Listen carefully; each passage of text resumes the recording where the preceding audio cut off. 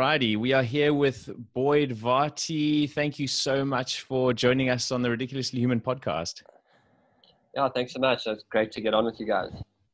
Awesome. We are extremely excited to be chatting to to you today, and it might, that might be the understatement of the year so far.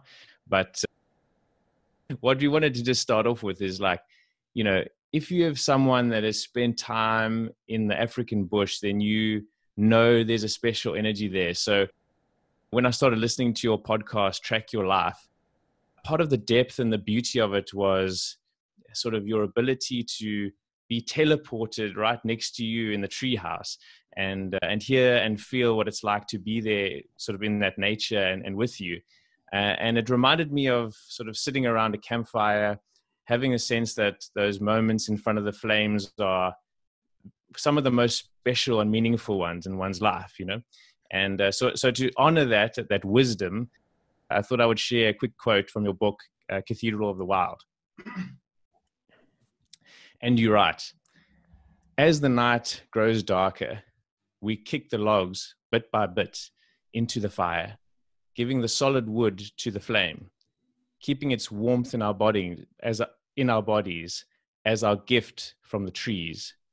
And I feel like that could set the tone our chat as it sort of speaks to the interconnectedness of it all and uh, the fact that we're all part of nature and we're not separate from it and uh, just like with each other in the universe. So really really beautiful words that you get in there. So to start Thanks this so off boyd pleasure. To start this off tell us about the absolutely epic sojourn you have recently returned from and how is the integration post immersion in the bush for 40 days and 40 nights been? Well, firstly, it's, you know, it's a wonderful thing to, I guess, be turning 37 this year and to, in my 36th year, had one of the best experiences of my life. I spent a lot of time in nature, but there was something, I spent a lot of time in nature. I spent a lot of time guiding people in nature but there was something about 40 days and 40 nights of solitude that was incredibly profound for me. Just the scope of time alone. And what that meant is even if you if you could imagine you go camping with a friend, you know, you might go for a long time, but there's always this one other person that you can turn to, that you can chat to, that you can tune your attention to.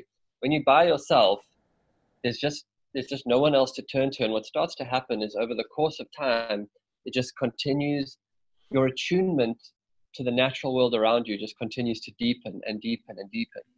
And the solitude, you know, as you said, like sitting around a fire with lions roaring and nightjars calling and the stars above you every night alone for a couple of hours, not reading, not checking your phone, not not tuning into anything, just being it was like this incredible depth of stillness that was establishing itself in me. And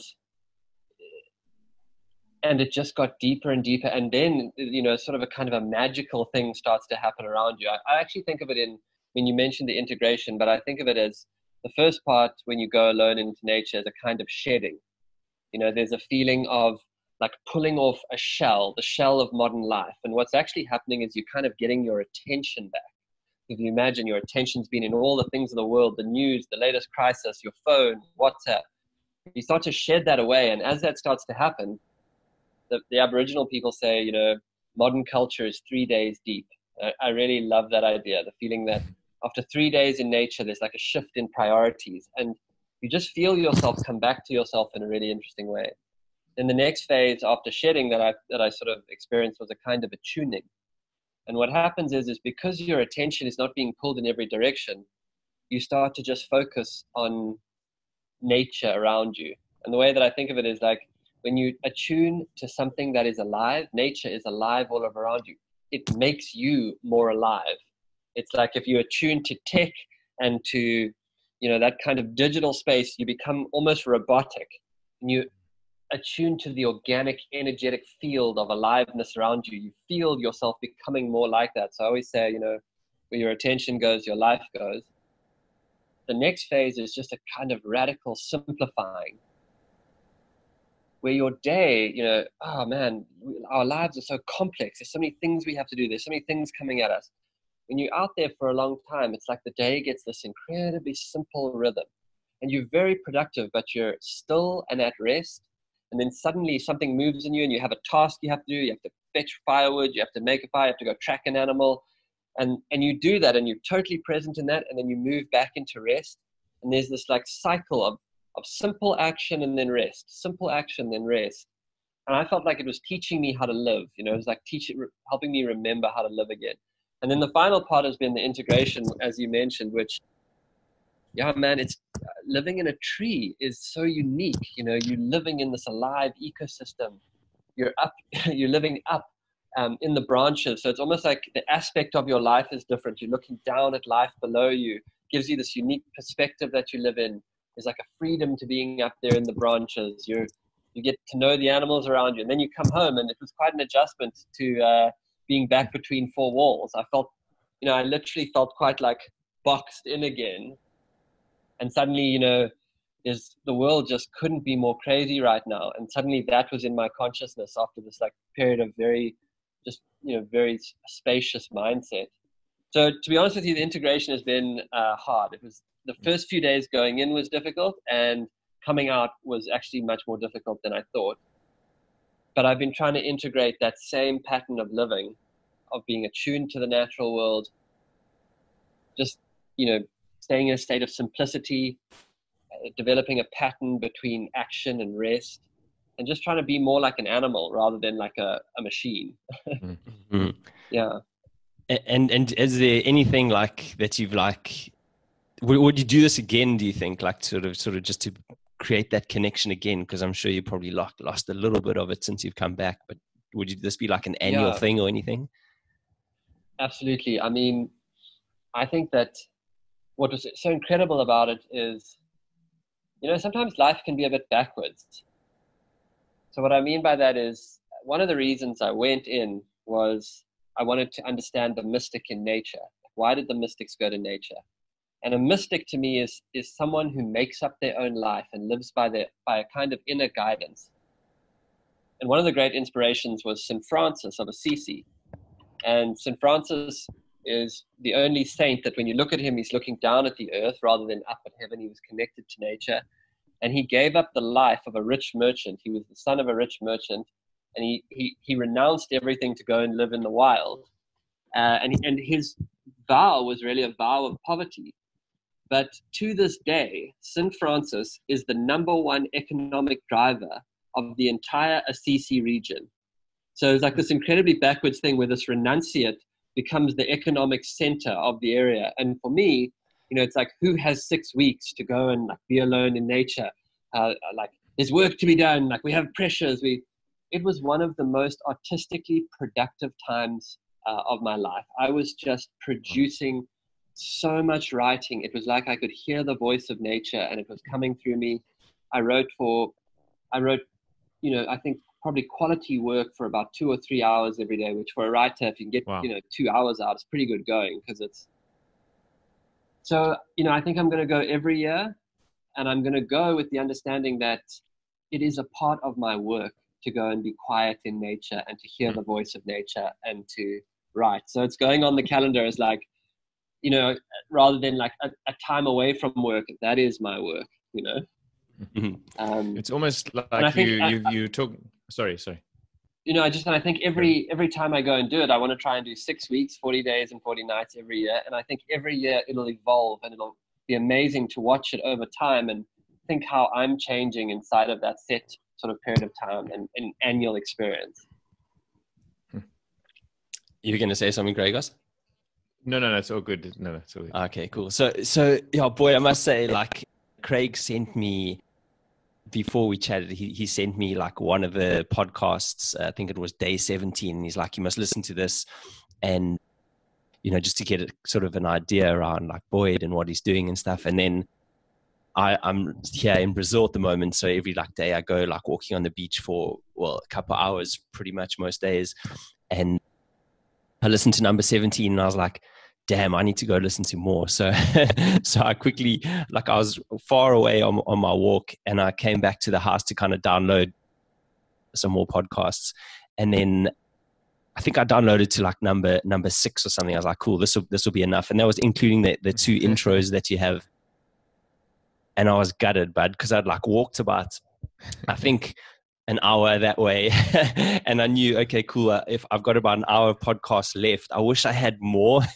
So i had to come back again to download more to to listen to to listen to the rest. But like it was it was such an incredible series of podcasts. Like seriously thank you so much for doing it. Like literally i felt like i was i was in there with you. I, I was learning so much like you know just through obviously your experience but also the the beautiful quotes that you had, the readings from books, how you presented it yourself as well. So it was such an amazing experience just listening to that. So thank you for documenting it because I know, like you said in the beginning, you were questioning should you like even kind of document it, but like honestly, the best decision ever, like for allowing us to kind of live through you in the tree that time. So so yeah just just amazing like emotion just very very powerful. But you know just just kind of looking back and and you being a storyteller you know what are your thoughts on on kind of like the power of stories and the lost art of sitting you know around a campfire telling stories? Well firstly thank you. That's really kind of you. And again like the like the st francis thing it was this the strange sensation of like being totally alone in nature but I spoke to more people every day than I probably ever had in my life because like you know the world was in such a strange place. People were in isolation and the podcast really traveled. And so it was like I was totally alone and I was yet I was connected with all of these people going through the strange and sometimes very difficult times. So it was a very it, it, it felt like it worked out really well. The, the, the sort of what was meant to happen happened. And then to your question you know I have thought for some time now that my whole life I've believed that there was a kind of a shift in consciousness that was trying to happen. And I always thought that, you know, the restoration of our relationship with nature could only come out of a shift in human consciousness. And so from the time I was pretty young, I would ask myself, like, well, what are the ways to accelerate a, a transformation in human consciousness? Like, what are the things what are the mediums that that like put people into different states that help them awaken to different ways of being in the world and, and life? And one of the things that came to me during that time was that like the frequency of a new consciousness is campfire. And and something so fundamentally and archetypally human is awakened inside of us when we sit down around a fire when we witness each other when we share out of a place that is very un you know it's it's not it's not a performance. When people tell stories around fire mm-hmm. it's almost like there's an intelligence there that you sort of know which story to share next and then that story triggers someone else's story. And there starts to be this kind of like very intelligent movement of sharing and openness. And in that beautiful glow of the flames you know i often think that we live in a neon culture a culture that is mm. blinded by this like brightly colored neon light and i think that firelight is soul light it's in in, in the mm. in a quiet night in the glow of a fire it's like you can see a person's essence and then they share so i just think it's and i think i mentioned it a few times there i mean i'm a huge believer in like what constellates when you turn the lights off and people go and sit around the fire and tell stories and a lot of my work now has been traveling around, uh, mostly America. And wherever I go, we make a fire. Now, you know, usually people will invite me and then we make a fire and it's dark and there's just the firelight. And then I stand up and start telling stories. And it instantly, it's a doorway for people, you know, and it's not just my story. It starts to connect them with their stories. It starts mm. to connect them with a different way of being and the story themselves, and this is uh, this is kind of an, an interesting thing to say, but maybe I would say it like this: uh, a long time ago, the ancient people, so you know, the people who were still connected to the earth, they knew that this time was coming, and so they passed down through the generations what they called the three seeds And the three seeds were the mystical traditions. And so for generations, meditation paths, yogic paths, breathwork paths, shamanic paths were passed down generation to generation. The second seed was stories. And so stories would be passed down. And what they were actually passing down is when someone told a story, the feeling you would get as you sat there and you listened to that, that feeling was the code of being a human, whether it was pain, whether it was empathy, whether it was compassion. When you heard that story, it conjured that feeling, and that feeling was the doorway to being human. And then the third reminder that they sent down through the ages to us for this time was native people themselves, who just whose mission was just to survive till now, to be a living monument to a different time. So to me, stories are full of code that remind us how to be people. Hmm. And so I think it's infinitely important to remember how to tell, put our voice into the world and how to receive another person's voice. Hmm. That's beautiful and super well said. And I guess it's just, it, you know, the art of actually sitting there.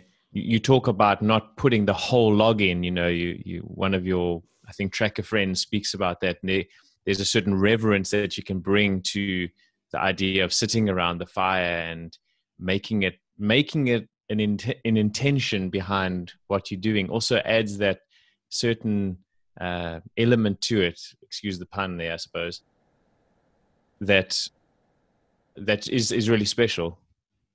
Yeah there's it, when you make a fire there and you and you gather around it there can be ritual. Immediately people will start to move more slowly as I said, that rhythm comes in of when people are talking, and then you know that moment around a fire where everyone just falls silent for a while, mm-hmm. and then mm-hmm. sits, and then something starts up, and it's almost like those intangible dynamics the sharing, the receiving, the ritual, the reverence, the intention of why we gather. All of those things are the kind of pillars, the foundational pillars out of which meaning then starts to arise. And there's something about a, a group of people who come together with intention, immediately the possibility for, for meaning to start to constellate in that space is deeper. And that is mm. some of what I think we are wrestling now in modern life is the speed of it, the complexity of it, the conven- the obsession with convenience of it, the consumeristic nature of it, those things start to strip out in a very in a way that's very difficult to see. They start to strip the core of what makes something meaningful away from it.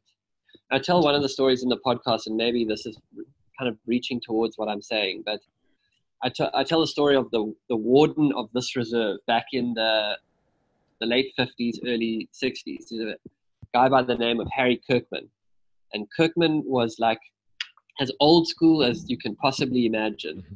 He was as hard as they come. He, Kirkman didn't believe on when he was out on patrol on the land. He didn't believe in drinking water during the day.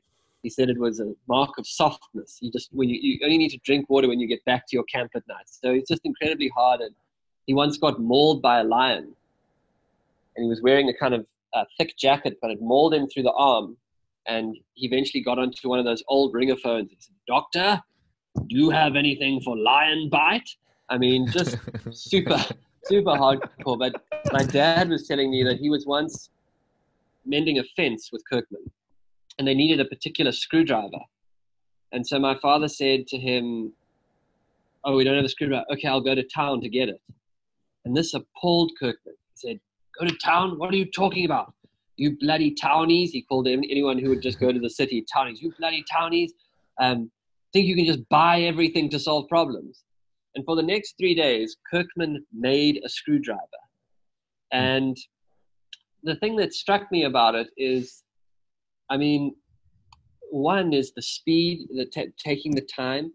Two is like the crafts, the willingness to be like tactilely involved in mm. your own life.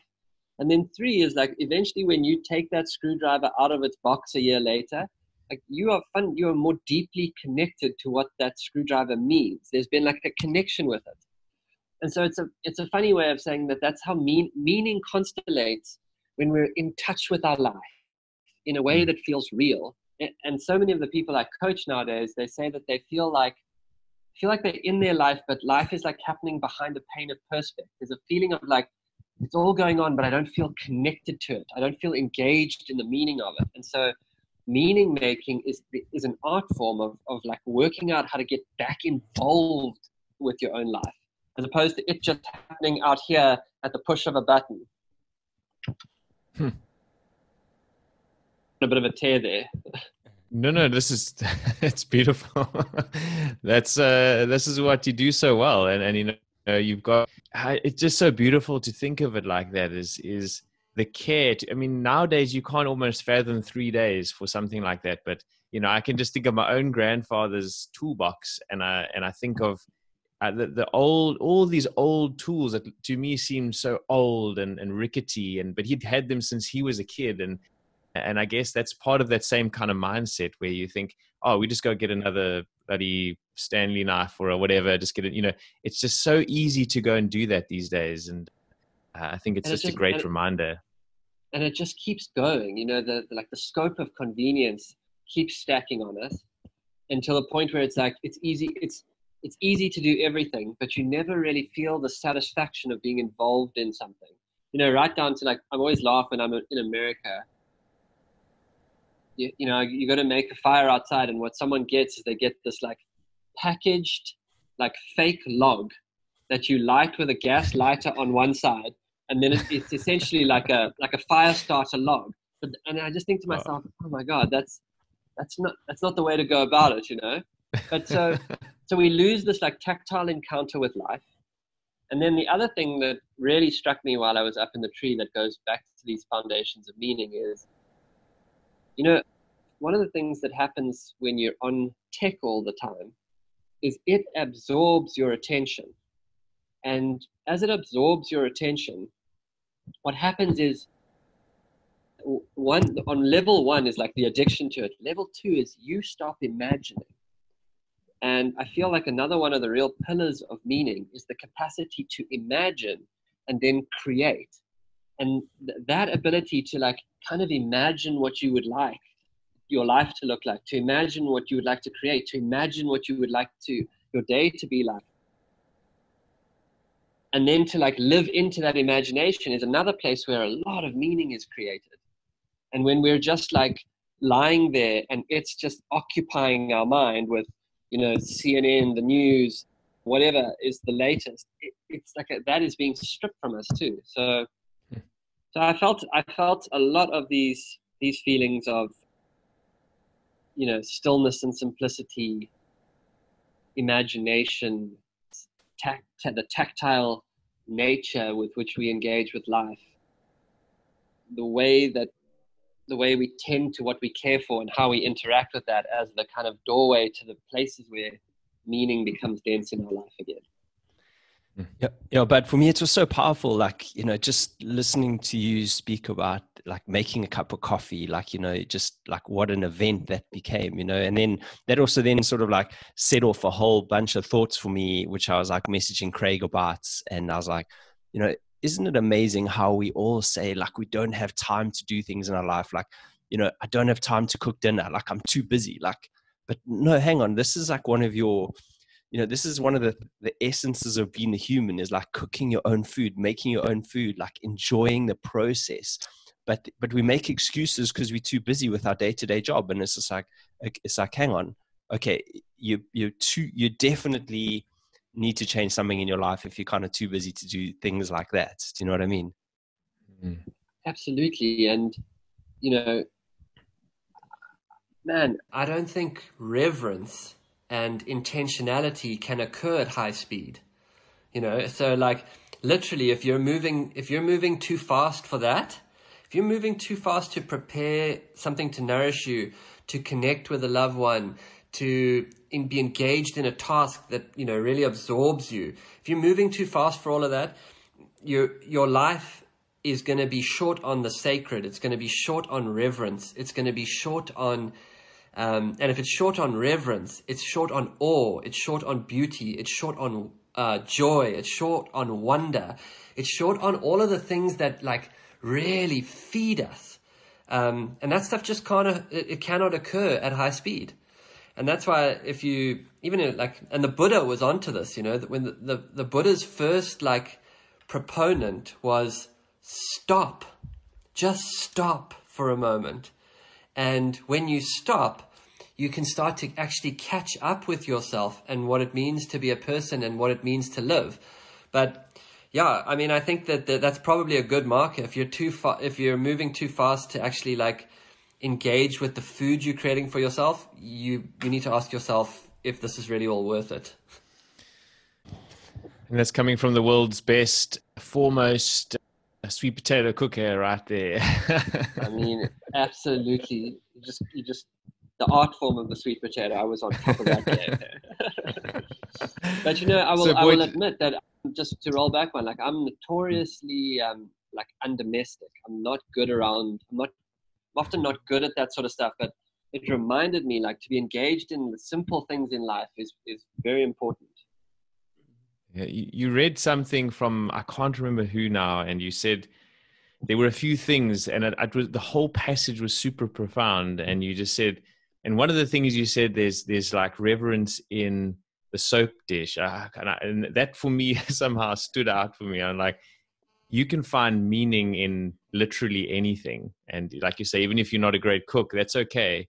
It's the it's the the doing, it's the practice of it that that brings you right here now and so yeah i think even even if we think we suck at something i think it's still worth it to pursue these kind of things hey man the, the the willingness to be engaged and to be bad and to and you know you can extend these metaphors kind of infinitely you know in my you know i, have a strange life as a tracker on uh, of in, in the wilderness on one hand and then i travel extensively i work in the personal transformation field and, and, those kind of two strange venn diagrams came together for me. But you know if you haven't had any time to engage in the things that we were just chatting about like when you come to that moment in your life where you suddenly feel lost and empty you know if you haven't had the time to prepare a meal to engage with a loved one when it comes to like now trying to work out what i'm what i want to do with the next 10 years of my life what actually brings me to life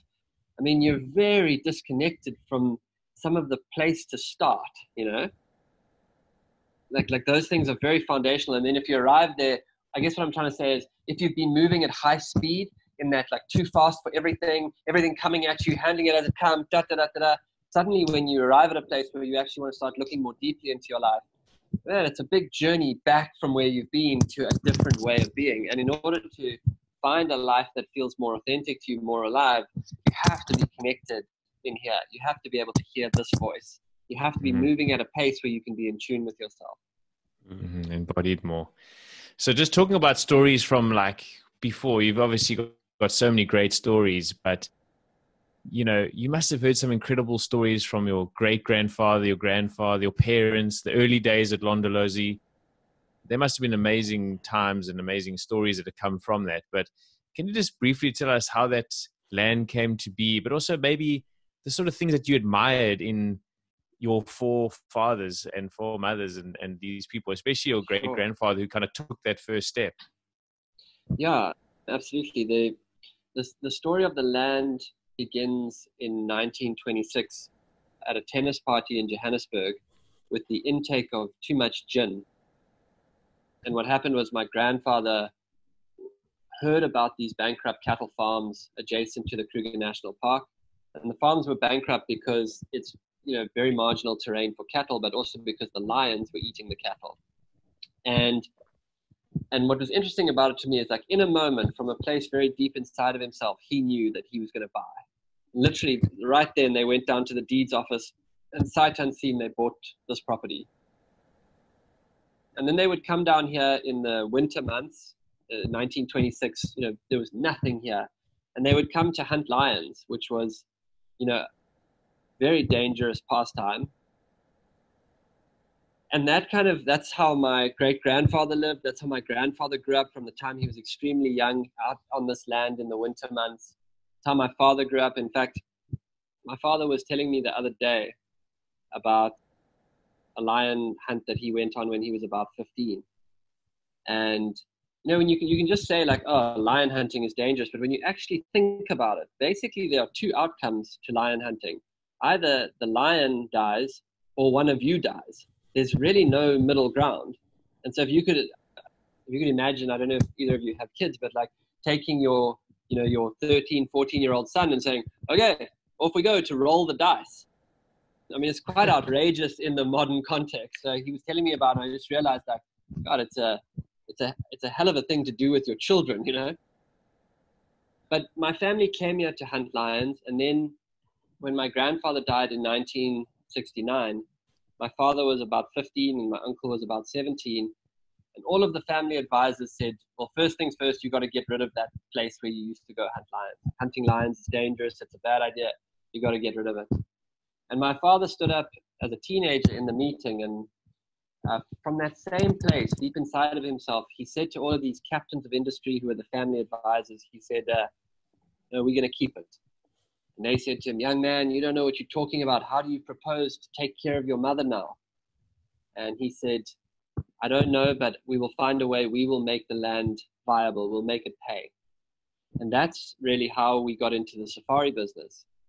And so my father and uncle launched this absolute ragtag safari business. It was there were three mud huts, and I'm told when it rained, people would go outside for shelter, and they would my sort of my uncle and my mother who joined soon after they would live in the mud huts and then when the few guests came down in the weekend they would go live in a caravan at the back. It was the one the land rover had a broken chassis that they had welded together and so you could go out on a game drive and the land rover would break in half. It was a very wild sort of scene. You really didn't see any animals and the reason you didn't see any animals was because the, the animals had been hunted and so they would run. They would try and get away from you and the other is that where the land had been overgrazed by the cattle, there was very high scrub.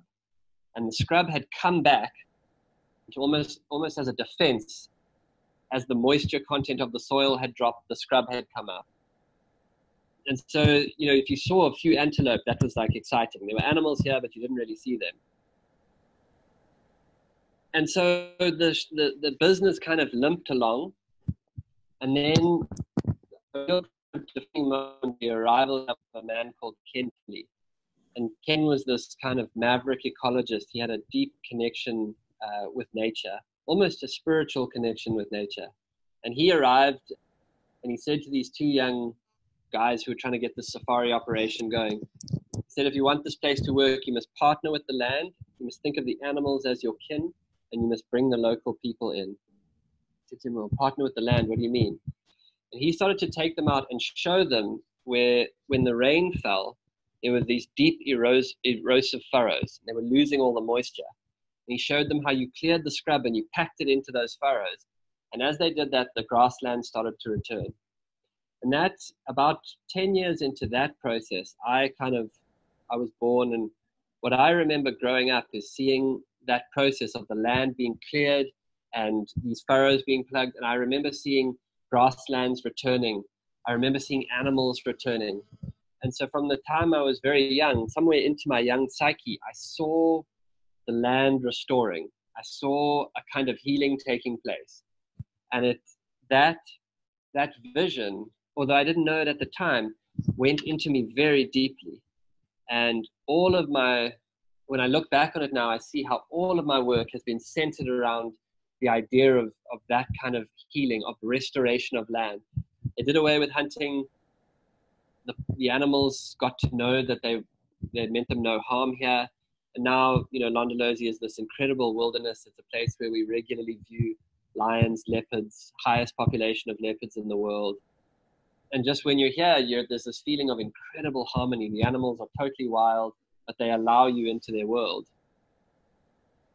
and so yeah that's that is kind of what and what i saw was a shift in consciousness that took place you know they went from you know these ragtag hunters then they went into a time where after my grandfather died, they were traumatized, but they were trying to create this this kind of reserve.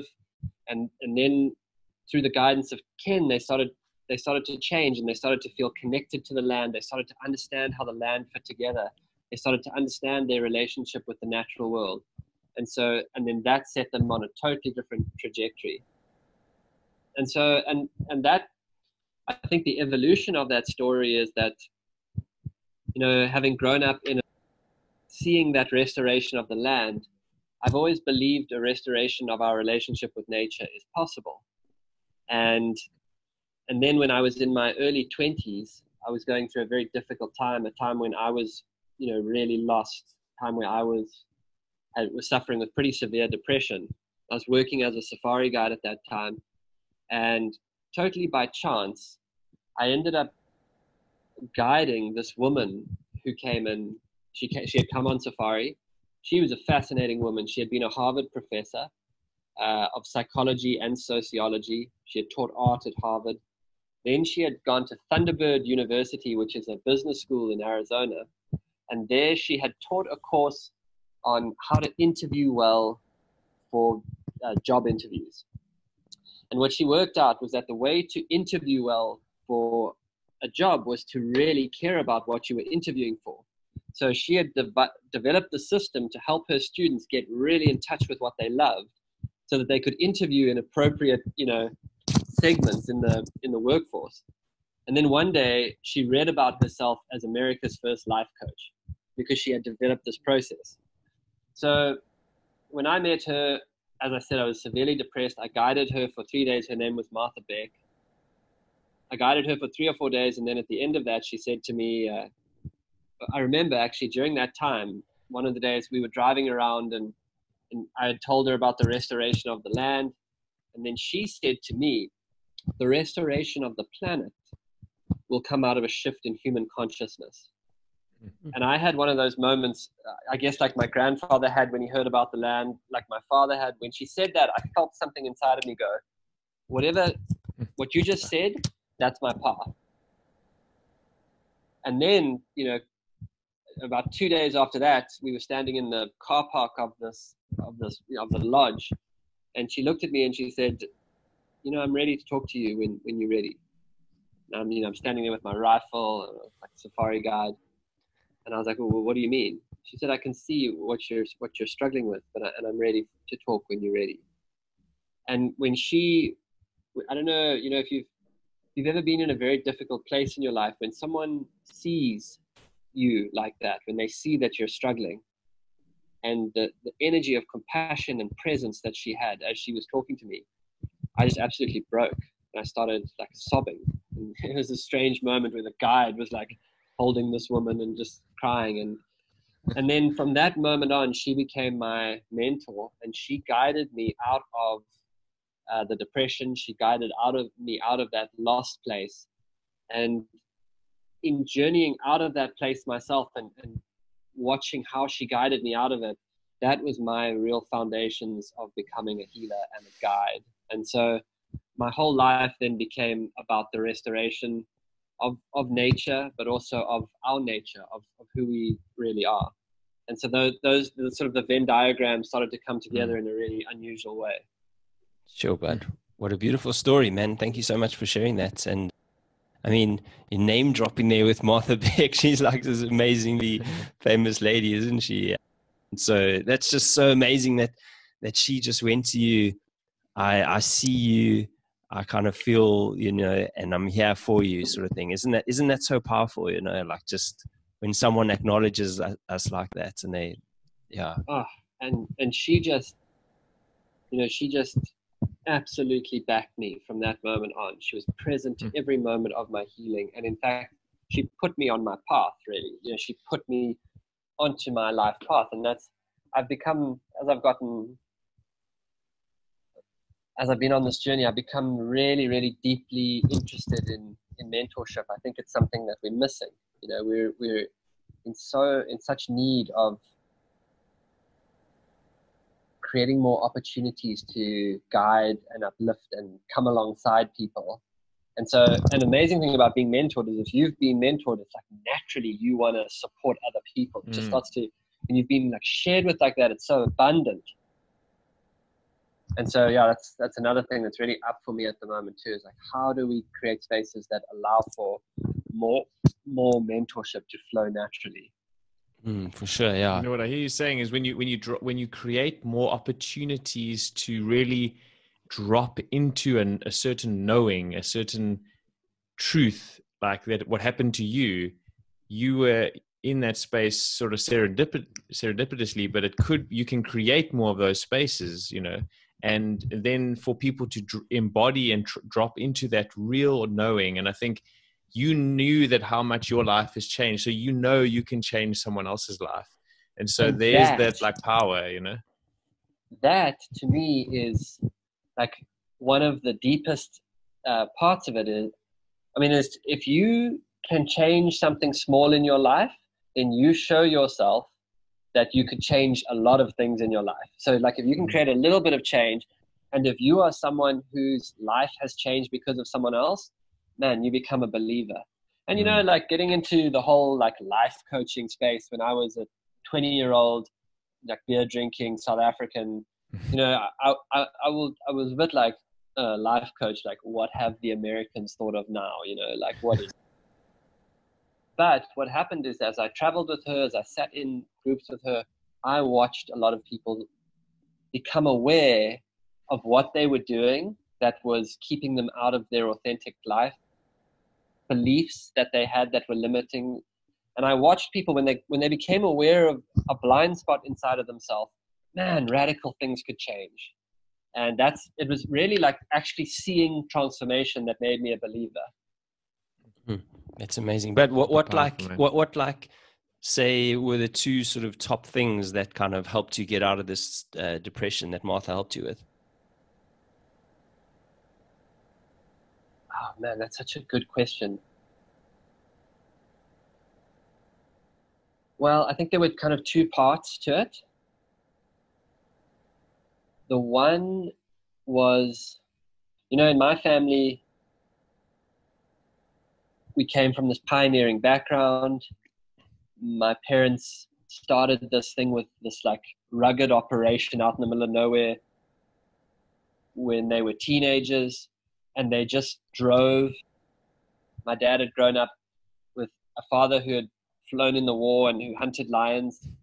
And I guess what I realized is that like we had one super masculine gear, and that mm-hmm. gear was like feel nothing, like put your head down and go forward.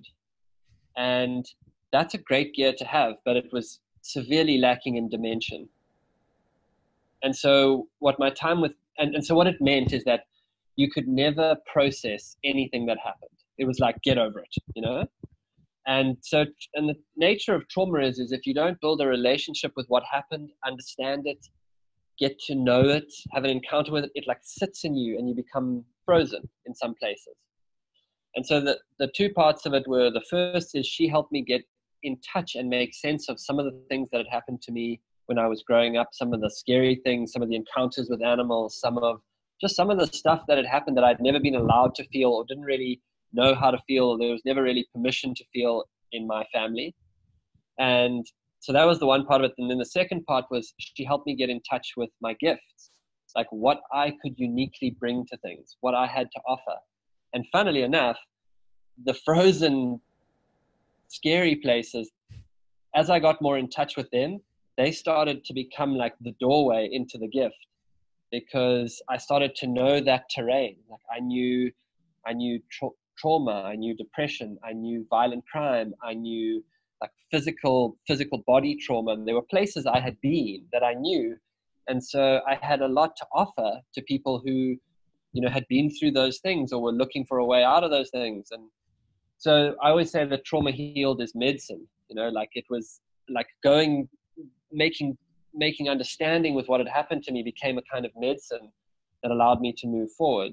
And the other crazy thing was, is as I started to heal, as I started to soften and understand, and you know, you, I guess we would call it integration of the feminine, learning to allow yourself to feel, allowing a certain kind of sensitivity into yourself that becomes presence, that becomes awareness, that becomes being able to be in touch with the moment.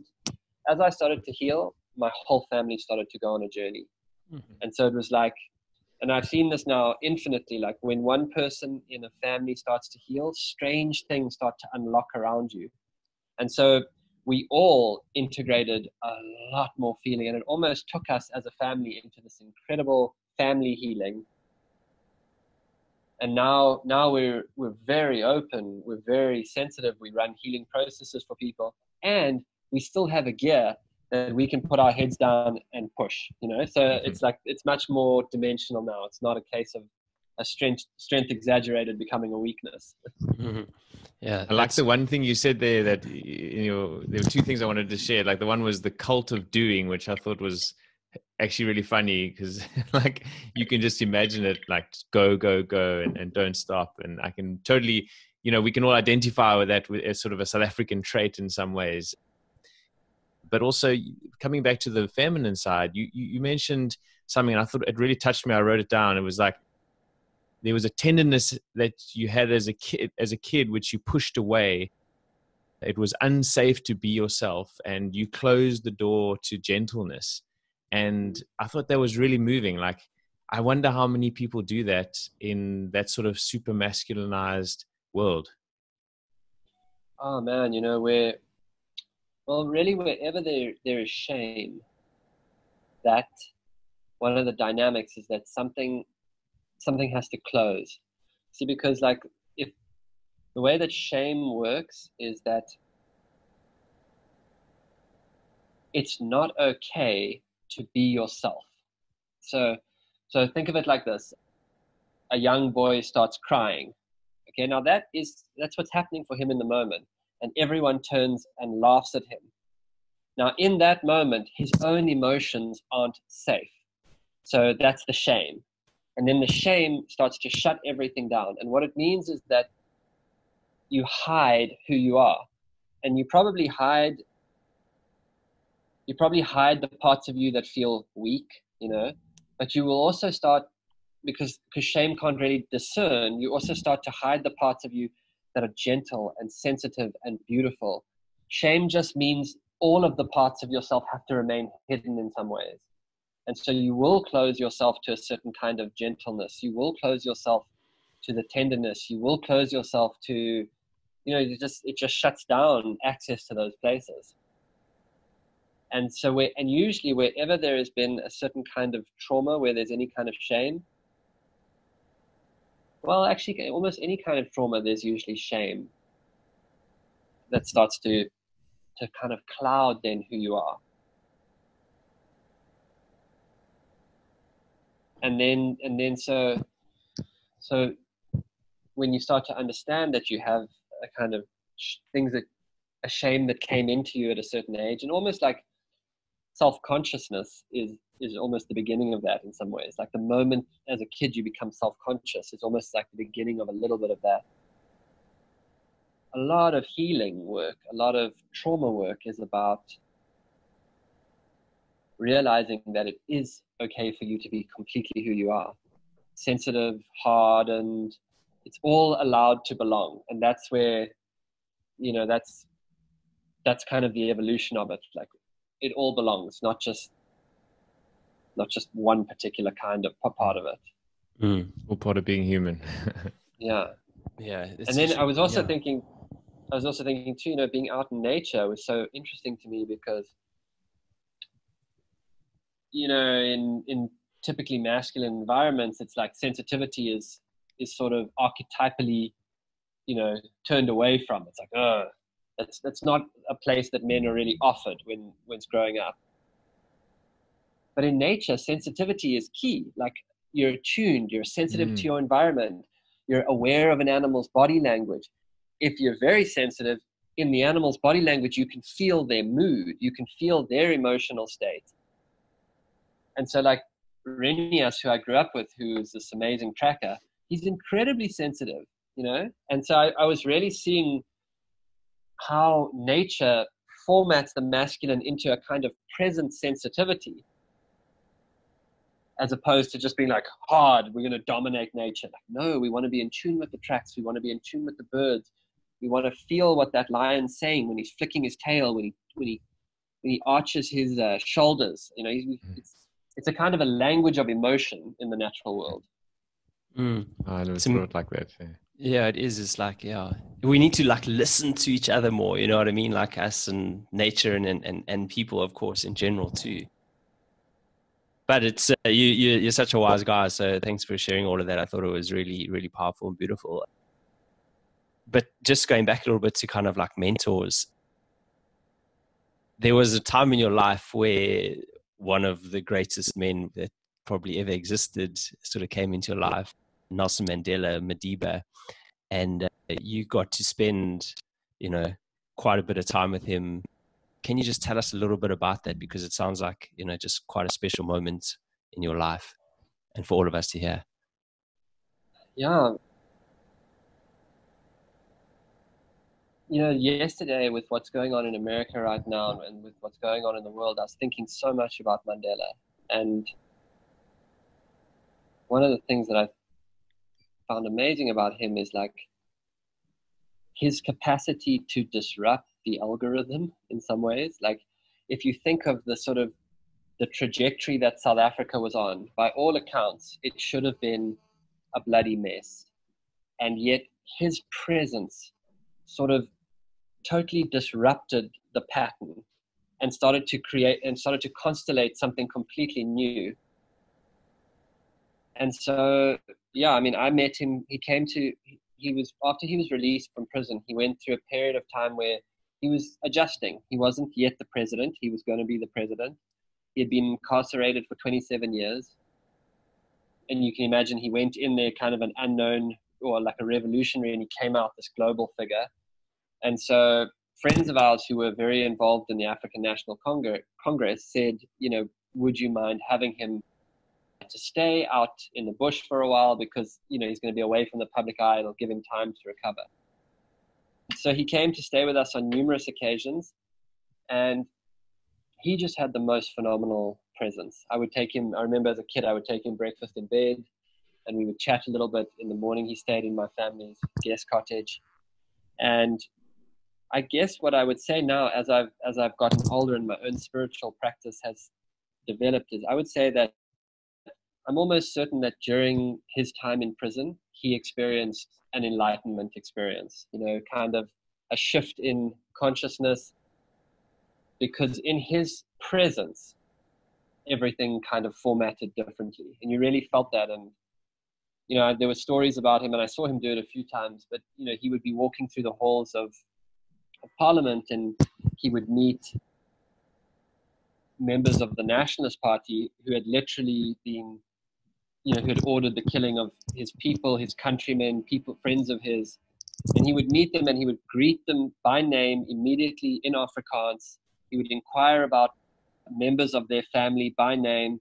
And instantly, he would humanize the moment. He would hmm. create a human connection first. And then he was formidable politically, but primarily it was always first person to person. And in doing that, he humanized it for himself, but he humanized it on the other side too. And he started to dismantle these constructs of race and what that meant. He, his presence just started to dismantle them. And even here, there was an occasion where he, after he had stayed with us, my mother was in Johannesburg, and she was she was at the Balalaika Hotel, and he was there on presidential duty, and he was being escorted across the lobby, and he saw her, and he broke away from all of the Secret Service. I don't know what they're called in South Africa, all the bodyguards. He came over to her, he held her hand, and he just chatted with her for, you know, four or five minutes. There's just this wow. incredible feeling, too, around him that he was everywhere. Like everyone in South Africa seemed to have like a personal account of, of some kind of encounter. and yet he was incredibly unrushed. Like when he was with you, there was just this like feeling of like nothing else in the world and so for me it was it was defining too because i would watch him you know he'd walk around the garden in his pajamas and then i would watch like this old crappy tv we had with like bunny ears on it and i would and to me, like as an eight-year-old, he was just like this quiet man in the garden, and then I would see him on TV surrounded by hundreds of thousands of people as images of the release were beamed around the world. And so what I what I saw in that time was like how he was holding uh, something very human and some like a very he was just a quiet man in the garden, but he was also holding he mm-hmm. understood that he was a symbol of something that people could believe in. And so he was sort of simultaneously both of those things to me. Hmm. Are you there? Ah. yeah, yeah, yeah. Sorry, I'm just gonna I'm just gonna plug in my battery here. Right. Here we go.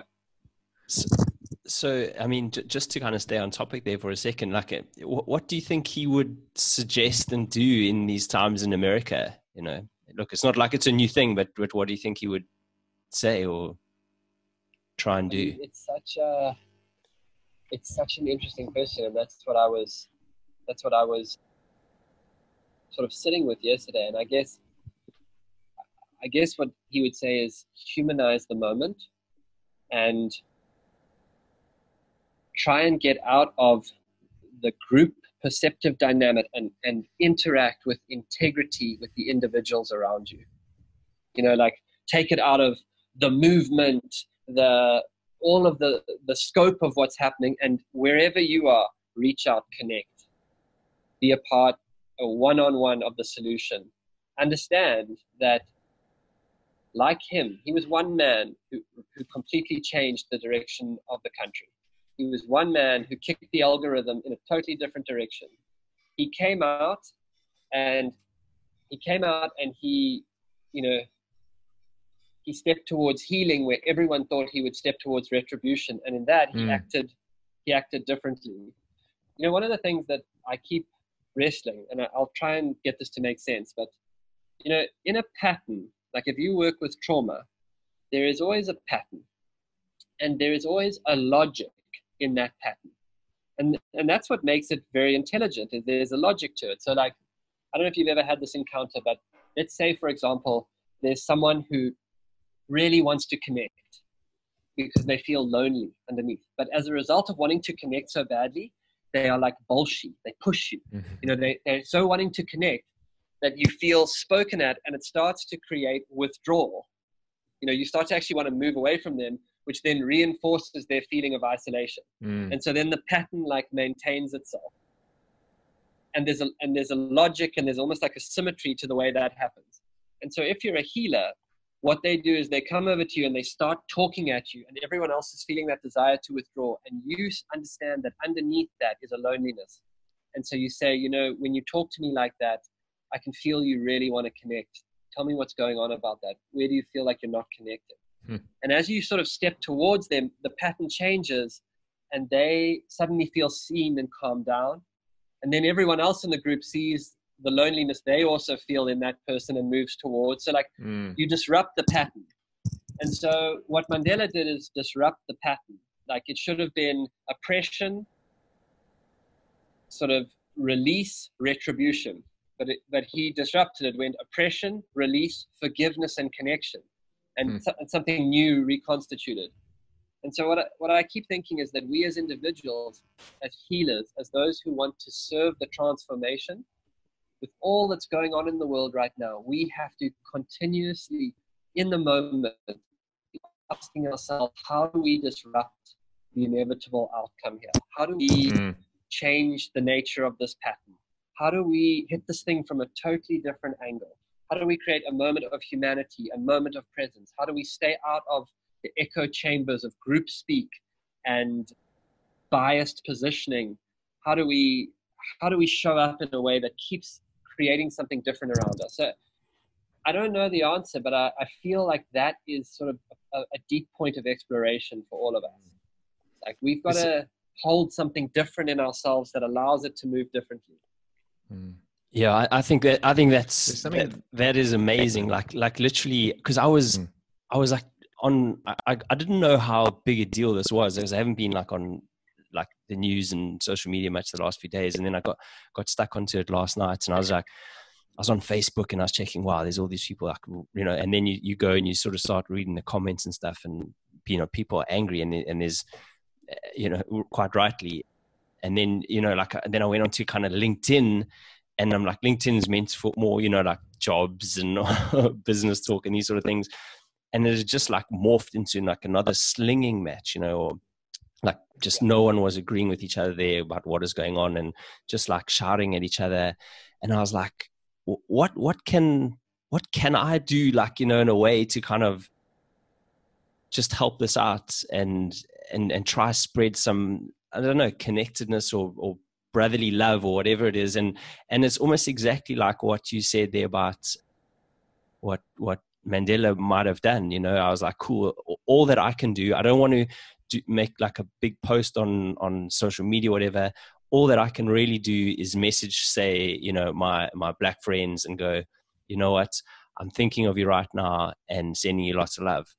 And that's uh, and and that's the the least confront, confronta- confrontational way, I think, you know, as opposed to avoiding these big groups. But also, just it's just you know letting people know that you're there for each other. And i think we have to start those small steps because that's how all things start don't they? Absolutely. And you know i was reading yesterday you know viktor frankl had this idea that came out of the concentration camps that you know you can if you strip away race and what he, what he saw in that environment and i i can find the quote but basically there are decent decent people and and and these people. You know and the, and the goal is to like find the inside of what all of that is happening is just con- continue to choose that decency. You know that is like like good like real goodness is understanding that we are all imperfect and just continuing to show up for what is in our integrity to do you know? And i think that's mm. that's what we have to do right now. And and and impact work wherever you can. So like to me i, I love that idea of start close in like start in your community start yeah. with the people around you. Do what you can where you are. That's that's that seems important. It's a lot of people doing what they can mm. let's start one to thing, shift this thing.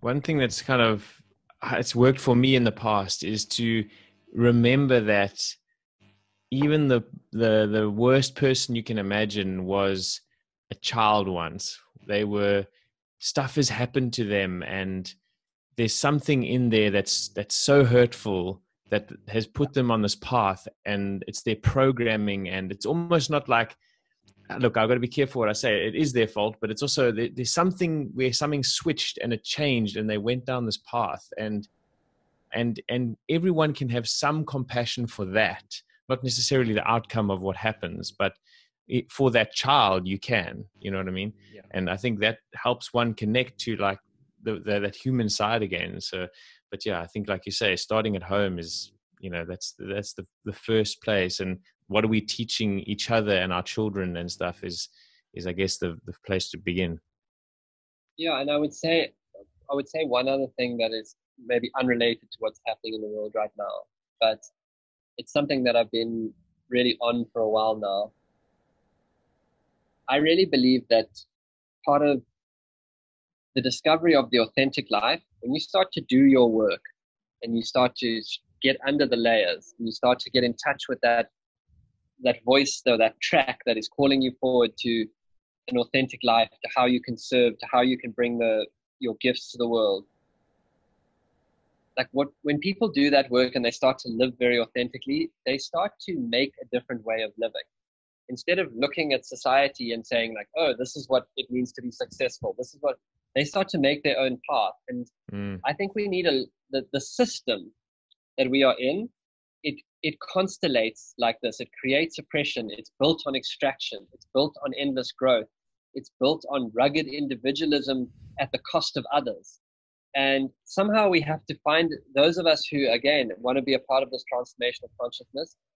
We have to find a way of living, and it's what Native people would call your medicine way, your authentic life, life, living in your gifts. When you start to live like that, those those people who I've encountered who are in that, they are inevitably creative.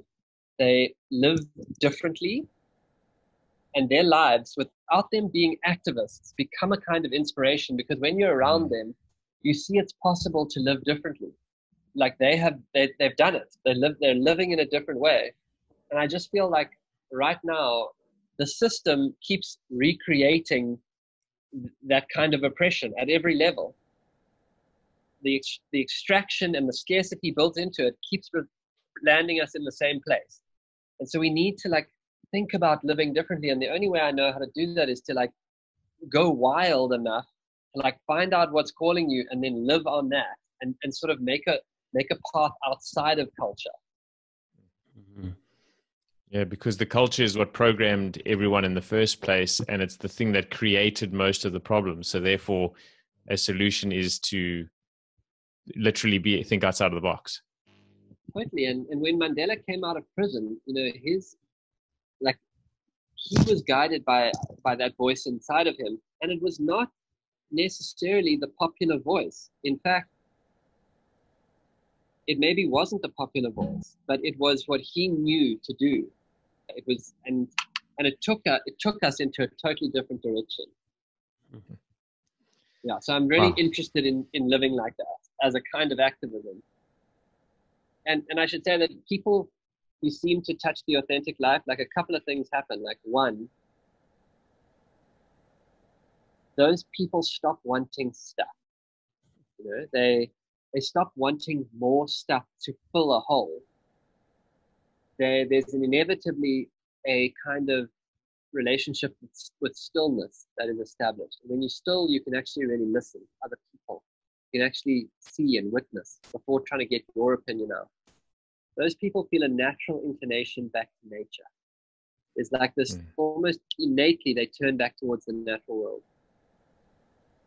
they feel an overwhelming desire to serve. Like, you know, even, you know, you guys starting this podcast, I, I can just feel it comes out of a genuine desire to like open up conversations for people. And there's a natural creativity that comes with it. And so those kind of things come together into, and it just starts to happen when you start to live like that. Hmm.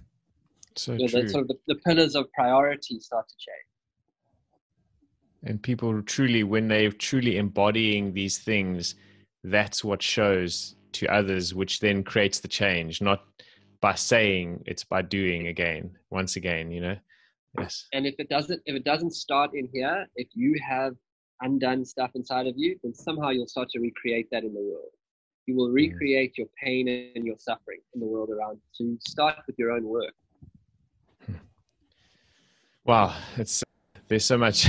there's so much yeah, in there. No, no, it's good. Boy. Thank you, Boyd. Look, just uh, this. You've had so many interactions. Like you know, you've interacted with Mandela, and and you know, just name a whole bunch of others. But you know, you've also had lots of interactions with animals. So tell us a little bit about the brotherhood that you experienced with Solly after a croc tried to have you for lunch. Yeah, absolutely. I mean, Solly was just one of these guys who was he was just gold to be around. He was he was irrepressible in every way. He was good in the bush. He was such a good tracker. He was he was fit. He was athletic. He was just you know an incredible guy to be around. And him and I had a a, a very strong bond many years. And then you know that it was really solidified sometime in 2002 and what had happened is i'd gone down to the river and i had a few people with me and there was clear water running over sand and there was a little place where the sandbank fell away and i sat down on the edge of the river there and my feet were kind of dangling in front of me and what i didn't know is that there was a croc just sort of out of eye shot and this croc came out and grabbed me by the leg to try to pull me in. And as it pulled me in, I managed to grab a branch above my head. A very strange feeling having another creature try and eat you. But like eventually my foot went down and started spat me out and I pulled myself up into the tree. And when I got up into the tree, I managed to move to the other side of this kind of deep channel. And then Solly saw me, saw me come out of the water. He saw that my leg was very badly damaged and he knew that it was most likely a crocodile that had that had done it. and he could see that I was in trouble. So he ran across the water and then he got to that very deep section of the stream and he knew the croc was in there. And he just jumped straight in and he waded across to me and he grabbed me and he pulled me up onto the high section of the bank. He took his shirt off and I wrapped the shirt around my leg. My leg was absolutely mangled from the knee down. And that was that was the moment that really uh, showed me the character of the man. You know? I, I often ask people like, I don't know how many people you know who would jump into a deep channel of water that they knew had a crocodile in it to come and get you.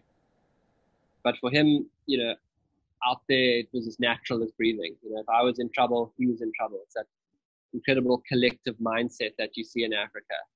And so he came and uh, and he pulled me out, and we were very, very close. We were we were close already, but we just became, you know, incredibly close after that. And he he actually passed away a couple of years ago, and I haven't ever told anyone the story, but I went to do a talk about that experience and a few other things as a kind of preparation for a TED talk that I eventually did. I was standing in front of this crowd of maybe 40 or 50 people. It was maybe about six months uh, since he had passed.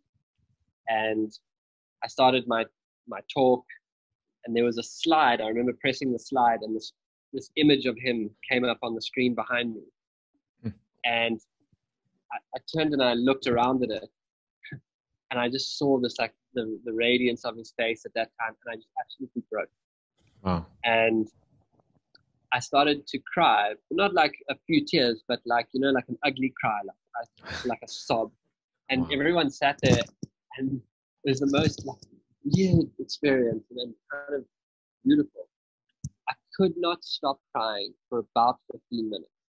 It just wouldn't stop, and the crowd just sat there absolutely quietly and I stood in front of them, and it just rolled. It just rolled. Mm. It just rolled. It just rolled. And no one moved. It was it was this incredibly deep like moment, and something people were uh, the gratitude that I have for those people, and they just knew something that needed to happen was happening. Wow. And and then after that, I started talking again, and I finished the talk, and there was this it was incredibly deep, and, and it, it, never happened to me again after that. But it, you know, it was a really like wow. in that moment, all all of the beauty and the grief and his presence was there with me. That's really anyway, that's a that's a second story on that that I haven't told before on top of uh, that one about Yeah, well, thanks for sharing that. But that's so that's so amazing, man. Like, wow, it's really beautiful. Uh, once again, um, sure. I can only imagine it must have been like very emotional for the people listening to you speak, just, you know, seeing that in front of them. So, wow. But, but I guess like talking about, you know, people, and there's also, you know, you've also experienced like lots of interactions with, with animals and things like that. So there was an elephant called Elvis. What did Elvis teach you about the African idea of Ubuntu? Well, you know, uh, for me, that Elvis was this was an injured elephant, um, had these very badly deformed back legs, and what we started to realize is that the entire herd was in fact moving slower to accommodate for this this one elephant. Um, and often when they would go down steep banks or upper bank, one of the the sort of teenage elephants would go and help him along. So there was definitely a sense of like a little bit of caretaking going on for him. And I guess where it landed for me and where it continues to land for me is that Ubuntu is a it's a Zulu word, and essentially the root of it means like the peoples, you know, and we we it means it the idea of Ubuntu means I am because of you, um, or people are not people without other people. So I get to experience the deepest parts of my humanity through my connection with you. That's a beautiful idea, and I think you know one of the other places you find it is in Japan. The idea that hum- being a person is relational; it happens in connection. Um, and I think that we are living in a time now where we have to extend that definition because it's not only through other people that we get to experience what it means to be a person, but it's through our all through every sentient thing in the living world. Um, and so something about being a person has to happen in relation. And I think that we have to realize that without the natural, without a relationship with the natural world, we start to, in some ways, not know ourselves. We start to become foreign to ourselves in some really deeply psychological and strange way. Um, one of the things that became incredibly apparent to me on my recent 40 days is like, it's one thing to go out there and want to know the natural world, but the much more deeper encounter is the feeling, and that starts to happen, is the feeling that you are known. Like the feeling that somehow there's no loneliness in the presence of the trees and on a starry night and in relationship with the animals and the birds and the way that they're moving around you. There's just this feeling that you know them, but they also know you. You belong there. And it's very, very deep. Um, and it starts to give you something. It starts to give you something that is impossible to describe. It's a very intangible sense of being, of interbeing, of yourself.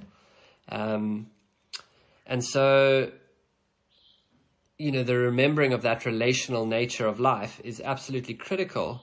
And I think that so much of the homesickness and anxiety that people are suffering with now in modern life, it's a homesickness and an anxiety to be known like that, to belong like that, um, to feel yourself relationally in connection with everything, and to look at the stars and to realize that out there is an infinite mystery um, that you are a part of.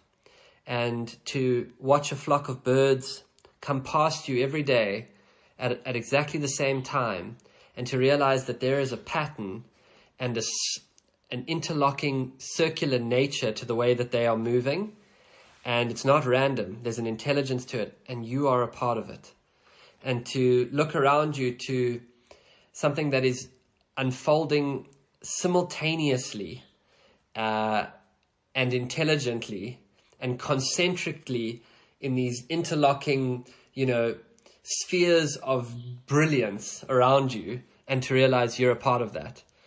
Until, until we can remember that, until we can discover ourselves in that relational space again, we're going to continue to feel alone, isolated, and that life is getting more meaningless. It doesn't matter what we do. You know, it's just, it's like a stripping away because we're out of tune with that like first fundamental part of how we experience ourselves and that uh, that's like the absolute core of everything that i care about now is just helping people remember that re- remembering myself and realizing that there's always a feeling that there's something subtly wrong with you mm. when you're not in touch with that and there's nothing wrong with you and so yeah. boyd what happened with uh, at the top of the hill. Like, I mean, there was such a beautiful story with that actually like sort of flicked the switch with our.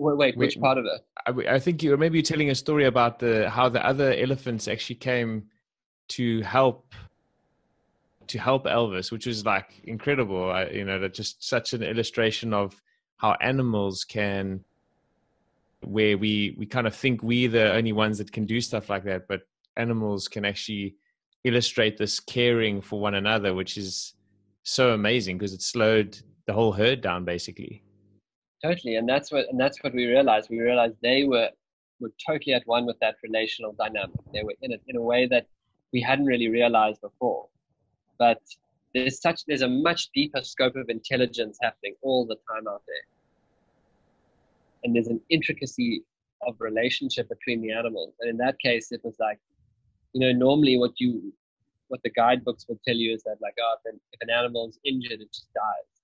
But there was a very real sense that that that particular herd had taken on the role of taking care of that elephant. Hmm. Yeah, it was very beautiful. Yeah. yeah.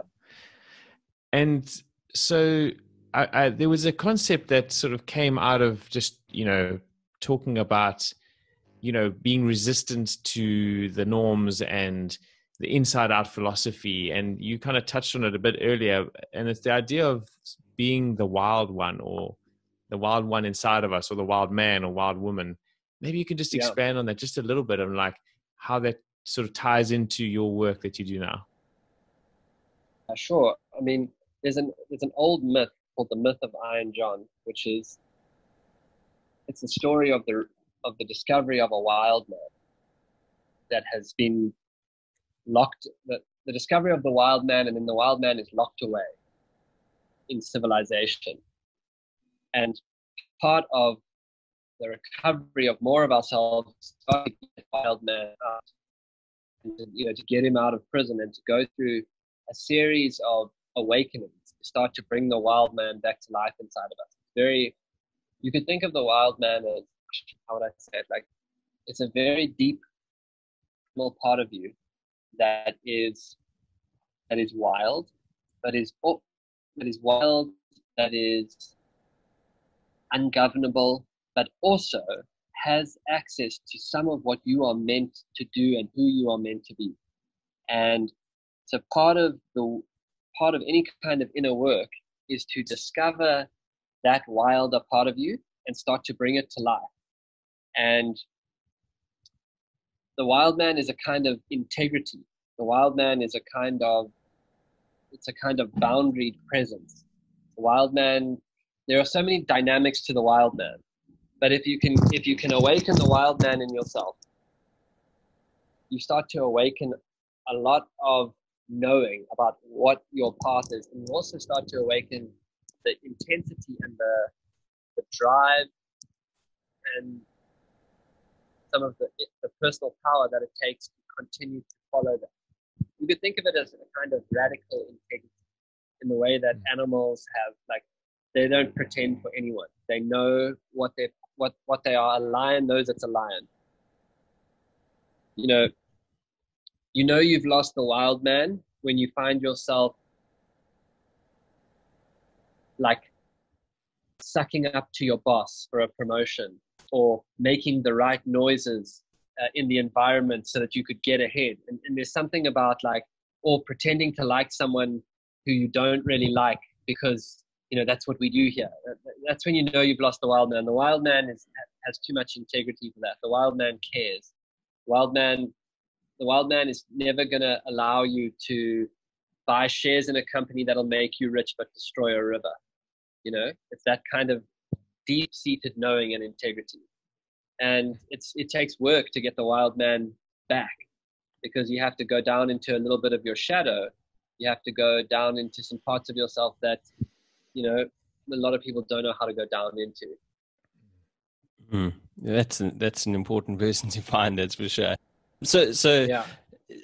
Boyd, you you mentioned before we actually started the podcast that that one of the things that is kind of like really coming up for you right now is tracking, and you you want to speak about that a little bit more. We've probably touched on little parts of it, but um, maybe you want to kind of just explain a little bit more about you know what it is, what tracking is, and, and what it means for you in this whole context of life and everything. Sure. Yeah, I mean, I mean the core of it is you know I grew up learning the art form of tracking, how you follow an animal across terrain. And that's what I thought I was learning to do, follow animals. And then later, when my life changed and I started getting into uh, inner work and starting to try and find the, the path of the authentic life, I realized that so much of the principles of tracking an animal could be applied to how you start to find your path, how you start to move forward towards what's calling you. And so the, again, for me, it's always these you know two strange Venn diagrams started to come together. And I'll give you a few examples. You know, one of the things about uh, trackers is trackers continuously go without knowing. So one of the first movements of tracking is like there's an animal out there somewhere you don't know where it is. You can't be certain of anything. You don't know if it's moving. You don't know where it might be, and you go anyway if you start looking for your authentic life, one of the first things that's going to happen is you're going to have to get comfortable with beginning without knowing how. You know, you're going to have to go without knowing. Most people say to me, when I know exactly what I'm going to do, then I'll start making the moves towards it. And in my experience, usually transformation begins with saying, I don't know. I know I'm looking for something. I don't know how to start. I don't know how to get there. So, you know, you can see those parallels. The next thing is, is trackers do something called they develop track awareness. So they, if you go out with a great tracker, they start to see track and it's an amazing idea because you know I might show you a track that you can't see, but as you develop more and more track awareness, the idea is that there is information there. You just have to tune yourself to see it. So when you start to drop into this place of unknown where you're looking for your authentic life, like there is information, but you're going to have to start tuning yourself to see it. Like one of the examples of the way you would attune yourself to see it is to stop thinking about rationally what you should be doing and just tune into the way your body starts to say yes. So, you know, like when you see someone, you hear someone, you're involved in activity and you just feel more energy in your body, you feel more aliveness, you feel more like you feel yourself almost pulled out of your chair. That would be an example of developing track awareness, starting to pay attention to when that's happening in your life because it's going to start to show you what's more essential to you. Um, another example is like working with what I call the first track. Uh, what a tracker will do is like in an infinite wilderness where a lion could have gone anywhere, um, all the tracker needs is the first track, and then the next first track, and then the next first track. And by, by doing that, they take all of that possibility of where that animal could have gone to a moment of presence, then a moment of presence, then a moment of presence. And so you know, in our own lives, as we start to go on this journey, like we probably don't know what the final outcome of it will be. Um, and yet, moment to moment, we have to take a small step towards what feels a little bit more alive today, what feels a little bit better.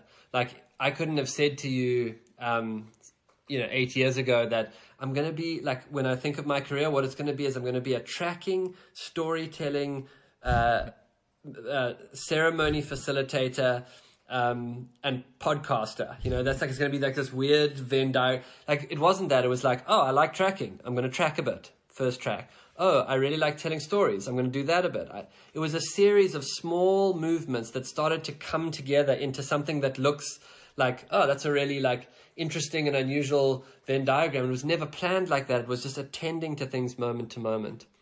And so and so in the in, and there's and there's a few more of them. You know, there's um, we always say never track alone. Like build trackers always get other good trackers around them quickly.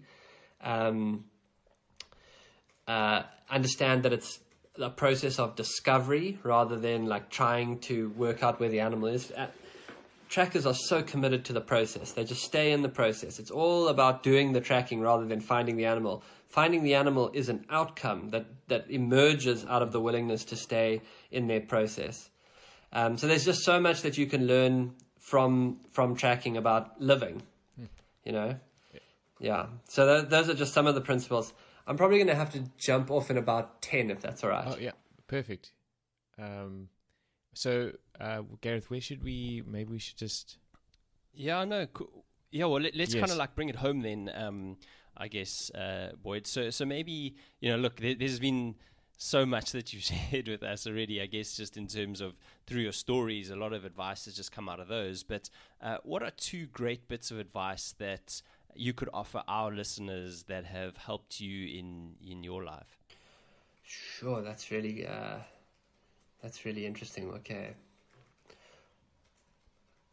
Well, let's st- let's stay there with with track awareness. You know, I think there's a few things. The one is one of the ways to really uh, start to awaken the wild man and start to bring a certain kind of integrity into your life and to start to um, to start to see what's really important to you is work with yes and no.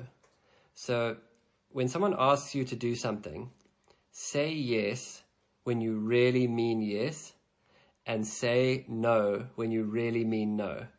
And you'll, what you'll find is that as someone asks you something, there's usually like, um, there's like a moment where you can tune into your integrity and actually before you answer, wait for it and see if that no or that yes arises.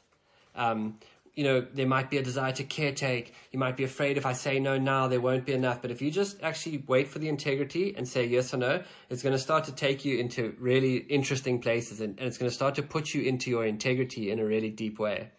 So that's one thing. The other thing that I would say is um, really pay attention to curiosity. You know, like curiosity is one of the ways that life pulls you to a destiny beyond what you could imagine for yourself. And you will naturally be curious about what's most essential to you. So if you just, you know, tune into curiosity, it's going to start to, to pull you, um, going to start to pull you towards that authentic life. So those would be, you know, two things that I would say are fun to play with. Mm, brilliant. Thanks, man. Just, yeah, I guess, yeah, probably the second last question uh, before Craig finishes this off for us. What are you most excited about for the future for yourself? Um, and also, you know, where can people then get in touch with you and uh, sort of, yeah, find out more about you? and that's uh, I'm excited about so many things at the moment. I continue to be really excited about our Track Your Life retreats. That's the most fun that I know how to have in the, the bush with people, taking people tracking in South Africa. I'm really excited about the next season of the Track Your Life podcast. We're gonna I'm looking at doing an exploration of the sacred. So there's a whole lot of places out on the land here that are that are really like sacred sites and I've been asking myself, like, what makes the sacred sacred? Like, how do you know it when you encounter it? Like, it's unseen, but when something sacred is happening, like, we know it, we see it. So, what is that that that sort of creates that? So those are those those are probably the two things that are really up for me right now.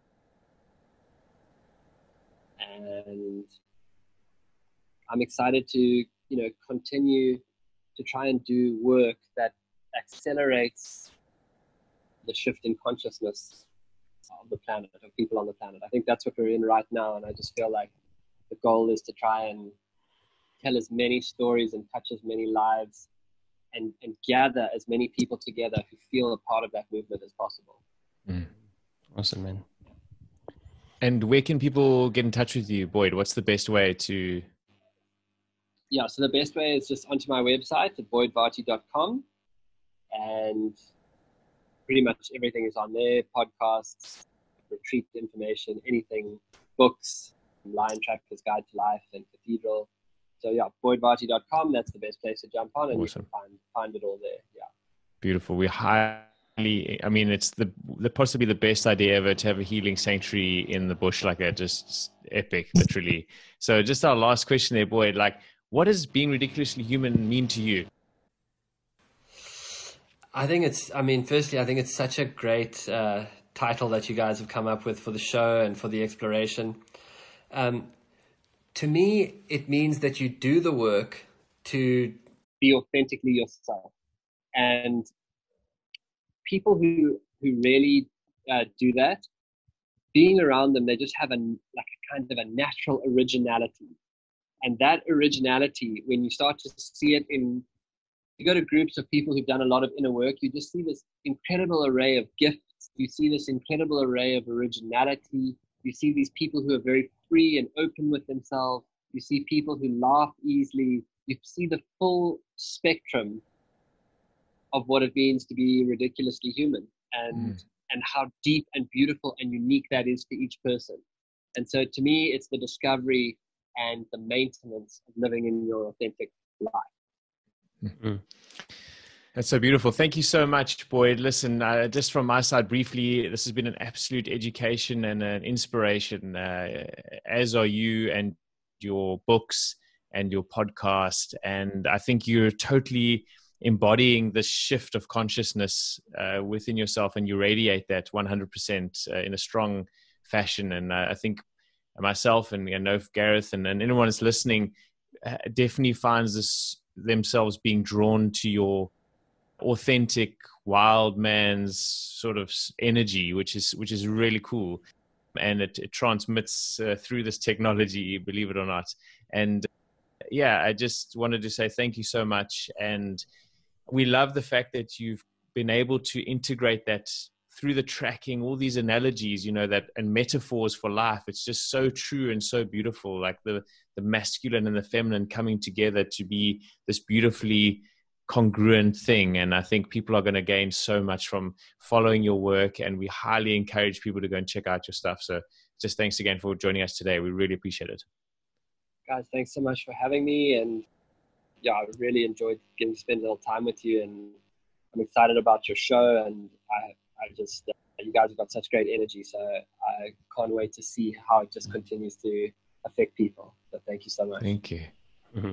Thanks so much, Boyd. Boyd, and just literally briefly from me, man. Thanks so much for coming on the show. What a seriously, what a legend, but like um, after listening to the podcast, I was like so excited. Your podcast, I was so excited to speak to you because I just I could feel like you, you've spoken a lot about it, this this shift in consciousness, but I could feel like you've had this massive kind of shift in consciousness over your life and you you you're kind of operating on a bit of a different level and and there's a certain energy about that which which is just kind of infectious and there's so much about you and the way you tell your story and the wisdom that you hold and the wisdom that you share that is extremely powerful and and beneficial for so many people in the world. And um, you've just kind of like given us a taste of that i think in in this podcast. So thank you so, so much for sharing that. And uh, seriously just wishing you all the best with absolutely serious everything that you that you have going on everything that uh, that's coming up in the future. And yeah bud you, you you're a very special man. So thanks for coming on the show. Thanks so much man. I appreciate it. That's very kind of you. Thanks brother. No worries bud